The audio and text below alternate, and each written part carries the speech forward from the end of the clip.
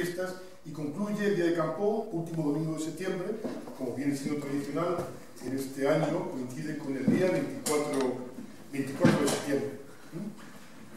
Me gustaría fundamentalmente hacer un, una mención especial al desfile de carrozas. Este año es el 75 aniversario del desfile de carrozas y el desfile de carrozas, como es bien sabido, es la expresión de un pueblo, la expresión de, de los jóvenes reinusanos. Es la expresión y el referente de la creatividad que tenemos los, que tenemos los reinusanos. Yo me incluyo como un reinusano más. ¿no?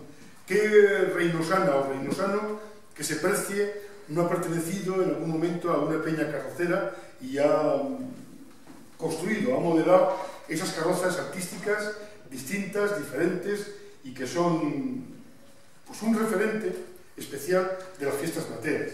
Yo creo que las carrozas que, que modelan las chavalas y los chavales de Reynosa son únicas ¿eh?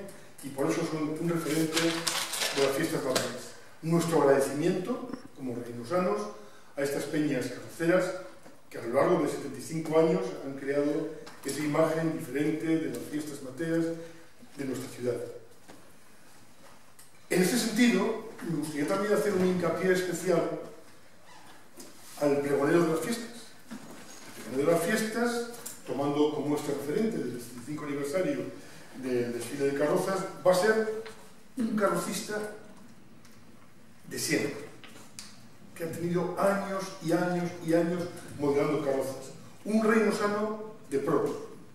Y además, y fundamentalmente, una excelente persona, de esas personas que colaboran muy especialmente en hacer esa gran ciudad que es Reynosa. Estoy refiriendo a Toño